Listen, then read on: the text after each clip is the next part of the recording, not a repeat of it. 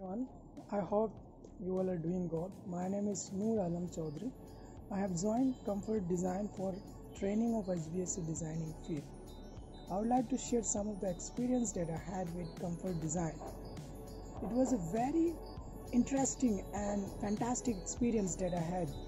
Actually, what exactly the university is not teaching us the real life project. So that has been taught in the Comfort Design for HVAC training if you want to learn the real life project of HVAC training, you can definitely join Comfort Design.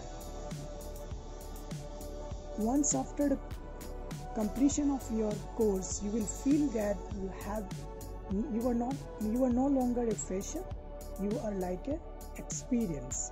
When you get into the industry, most of the employees in the industry do not know the things that you have learned from Comfort Design. So if you are really looking for HVAC designing and drafting, also for Revit, you can definitely choose without no hesitation and doubt.